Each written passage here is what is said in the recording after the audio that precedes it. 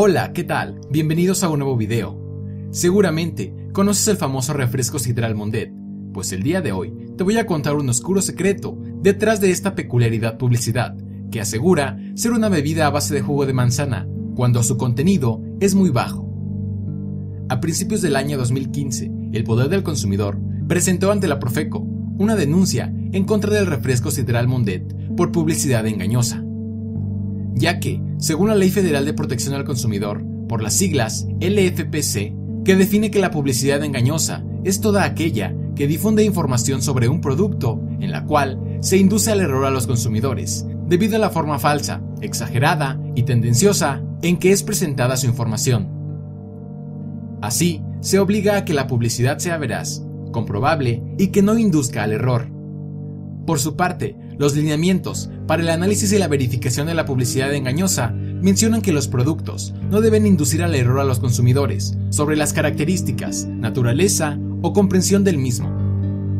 No obstante, el refresco Sidral Mondet es presentada como una bebida a base de jugo de manzana, cuando solo contiene el 1% y no de jugo, sino de concentrado de jugo. Tienes que saber que el concentrado de jugo se obtiene a través de un proceso en el que desaparecen las propiedades de la fruta a tal grado que las guías dietarias de los Estados Unidos lo han considerado como un azúcar añadido. Por otro lado, según el poder del consumidor, el engaño es equivalente a que una botella de sidral de 600 mililitros contiene solamente 6 mililitros de jugo concentrado, lo que equivale a solo 6 gramos del mismo. Mientras tanto, contiene una cantidad de 60 gramos de azúcar, equivalente a 12 cucharadas cafeteras de la misma.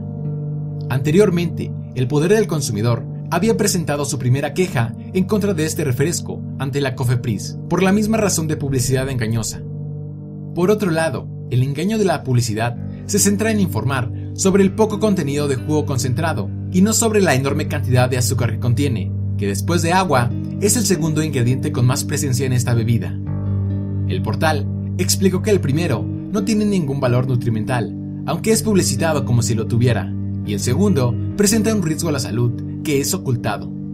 Al final, el poder del consumidor mencionó que el consumo de Sidral Mundet de manera recurrente es una amenaza para la salud, ya que una de estas bebidas de 600 mililitros contiene 12 cucharadas de azúcar, que para un niño representa el 240% del máximo recomendado en un día, establecido por la Organización Mundial de la Salud como criterio ideal.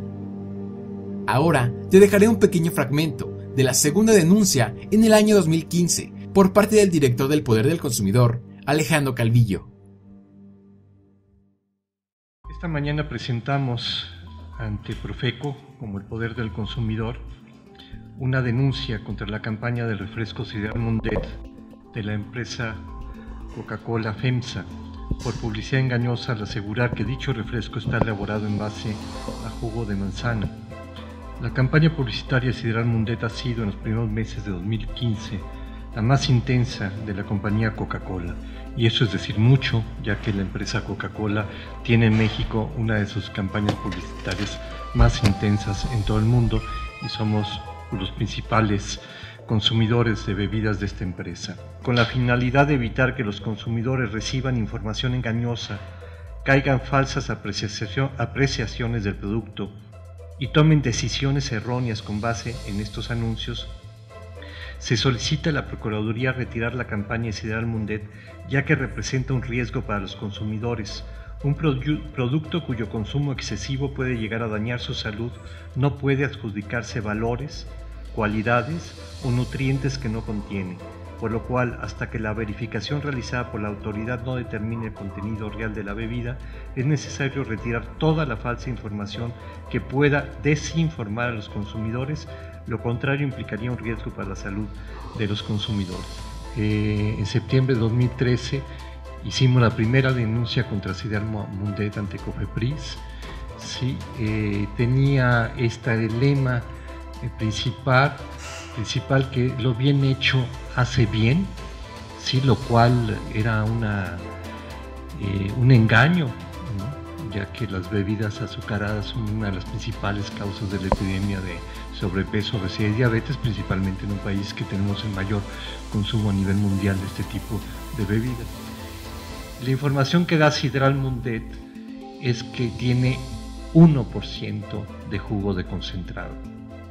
Si tomamos este, esta botella de 600 mililitros, ¿no? pues 1% son 6 mililitros. Así que es esta cantidad. Creo que ni la van a poder distinguir. Es decir, de toda esta botella, ¿sí? nada más esta cantidad es de jugo de concentrado. Aparte, no es jugo, es jugo de concentrado. En Estados Unidos, el jugo de concentrado, que sería como decir la harina refinada frente a la harina integral, es decir, cuando el jugo se concentra y sufre todo el proceso de concentración, pierde todas las cualidades del jugo, las vitaminas, los minerales, la fibra obviamente por ser jugo.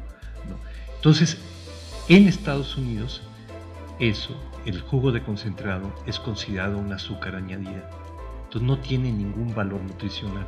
Cada una de estas cucharadas son 5 gramos.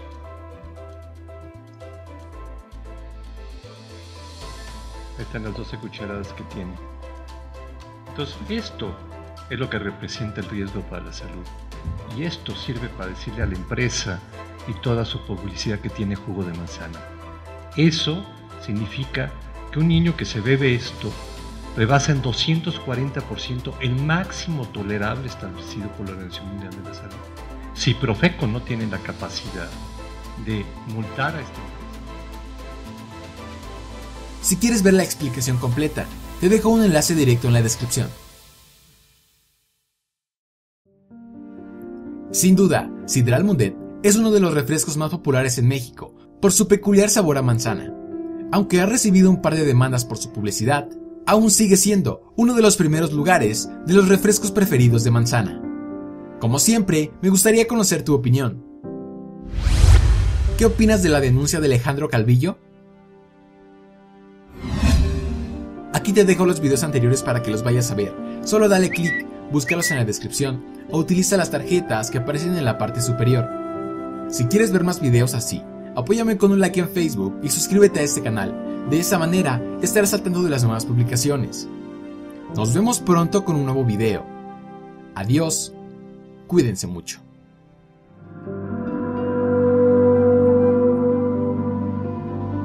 Algunos ecólogos denominaron este envase como una sentencia de muerte para los animales, puesto que al menos una vez al mes se reportaba un caso similar.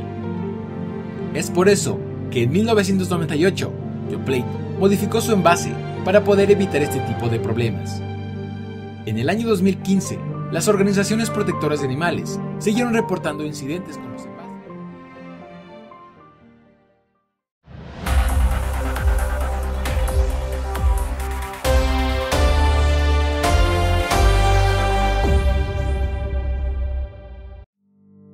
El tercer caso se dio a conocer hace más de tres años, al norte de América. En el año 2015 salió a la luz una nota en la cual estaba completamente en contra de los yogures Yoplait, alegando que el envase de sus productos causaba la muerte a algunos animales. El post fue publicado el 23 de septiembre del año 2015, en el cual se habló en contra de la empresa Yoplait en los Estados Unidos.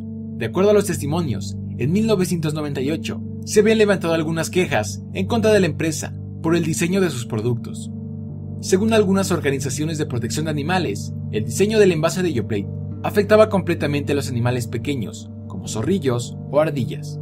El problema era que cuando se contaminaba con el envase de Yoplait y estos animales metían la cabeza para poder obtener algo de comida, causaba que se atoraran con el envase.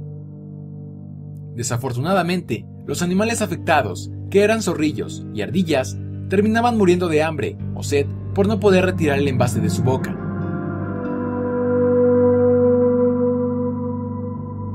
Algunos ecólogos denominaron este envase como una sentencia de muerte para los animales, puesto que al menos una vez al mes se reportaba un caso similar. Es por eso que en 1998, Yoplait modificó su envase para poder evitar este tipo de problemas. En el año 2015, las organizaciones protectoras de animales siguieron reportando incidentes con los envases ya que aún había deceso de animales atorados con los envases de esta empresa. Expertos opinaron que este tipo de incidentes también afectaba a los conductores, ya que cuando los animales se atoraban, caminaban a ciegas, y había ocasiones que llegaban a la carretera